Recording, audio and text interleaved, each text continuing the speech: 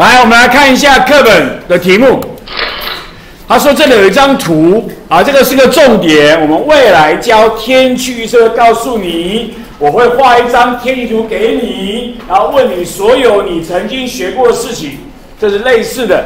来，画个图，开始问。第一个甲跟乙有一个高压，一个低压，谁高压谁低压？甲跟乙有一个是高压，一个低压，看它上面写的字，写的的的压力，你就知道了。请问你谁高压，谁低压？帅哥美女，二十二，二十二，谁高压，谁低压？加低压，然后呢？请坐。甲是低压，乙是高压。甲是一千零四变一千变九九六，越往中心气压越低，所以是低气压中心。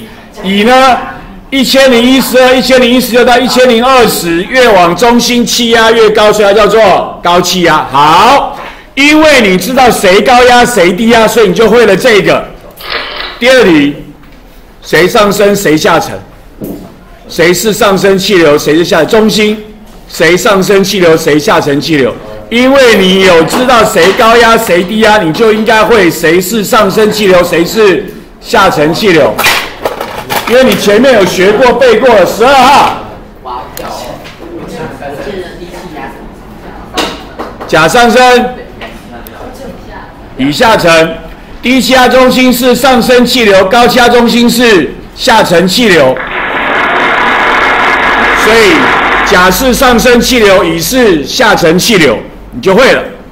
好，再来，再来，因为你知道谁高压谁低压，你就知道谁上升谁下沉，你就会知道谁好天气谁坏天气，谁是好天气谁是坏天气。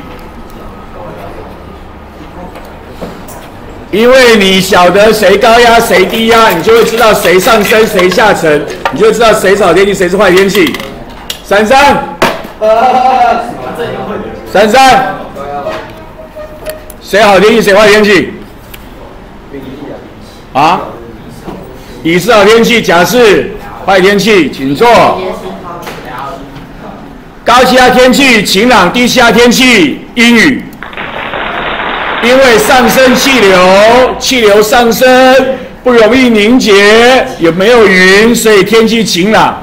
对不起，讲错，上升气流会容易凝结，气压下降，体积膨胀，温度降低，容易凝结成云，有云就会下雨。所以甲是低压上升气流，天气阴雨；而乙呢是高气压下沉气流，越往下温度越高，不容易有云，所以天气就晴了。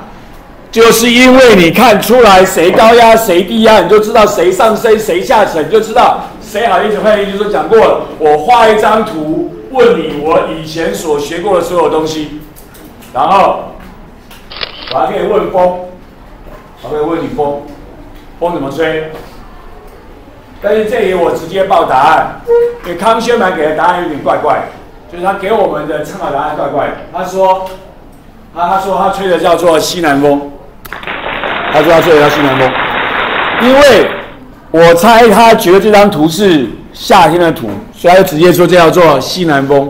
可是不太对劲，为什么不太对劲？因为如果你看等压线的话，应该要垂直等压线，应该要垂直等压线，北半球向右边偏，它比较像什么风？南风，没有到西南，没有到西南，唯一可以比较像西南的怎么做？从乙。